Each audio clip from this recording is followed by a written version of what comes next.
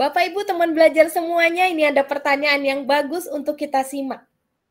Pertanyaannya, apakah yang menjadi indikator bahwa nilai-nilai yang kita laksanakan dikatakan berhasil? Jika belum, langkah apa yang harus kita lakukan? Nah, teman belajar semuanya, seperti yang kita ketahui, nilai dari guru penggerak adalah mandiri, reflektif, kolaboratif, inovatif, dan berpihak kepada murid dinyatakan berhasil apabila kita sebagai seorang guru telah membantu para murid untuk mandiri dalam belajar, mampu memunculkan motivasi untuk belajar, mendidik karakter murid untuk menjadi pribadi yang kolaboratif, inovatif, kreatif, baik di sekolah maupun di masyarakat.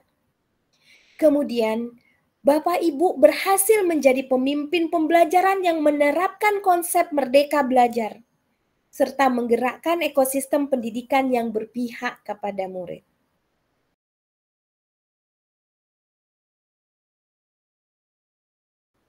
Bapak Ibu CGP hebat, pertanyaan berikut ini sangat menarik ya.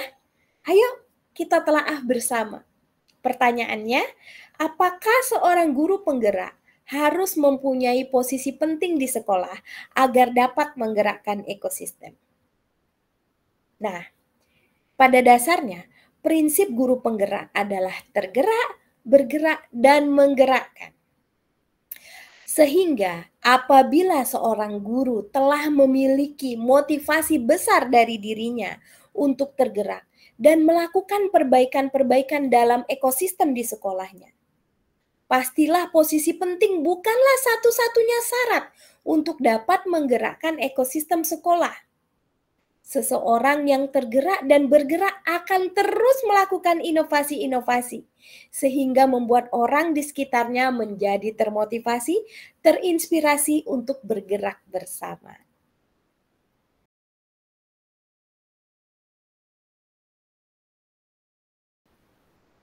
Nah, teman belajar semuanya, ini ada pertanyaan terakhir yang tidak kalah menariknya. Pertanyaannya, apakah nilai-nilai guru penggerak diharuskan dimiliki oleh semua calon guru penggerak? Bagaimana jika yang dimiliki hanya beberapa nilai saja? Apakah seseorang tersebut masih dikatakan seorang guru penggerak? Bapak Ibu CGP hebat, mungkin di awalnya seseorang hanya memiliki beberapa nilai saja tetapi seiring dengan mengikuti pendidikan program guru penggerak ini yang ditempah kurang lebih tujuh bulan lamanya dan berkumpul dengan komunitas penggerak, maka nilai yang lain akan tumbuh dan berkembang di dalam diri CGP. Sehingga akan nampak perbedaan dari seorang guru yang mengikuti PGP dengan yang belum mengikuti PGP. Bagaimana jika yang dimiliki hanya beberapa nilai saja? Apakah seseorang masih dikatakan seorang guru penggerak? Tentu saja masih dikatakan sebagai seorang guru penggerak. Karena dengan berkolaborasi, sang guru penggerak dapat melengkapi nilai-nilai yang belum ada di dalam diri dari rekan sesama guru untuk terus dapat menumbuhkan nilai tersebut dalam dirinya.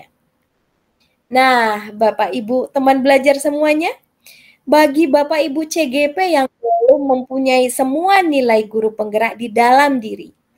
Teman-teman tidak semua tidak perlu berkecil hati. Yang penting semua komitmen ya dan konsisten.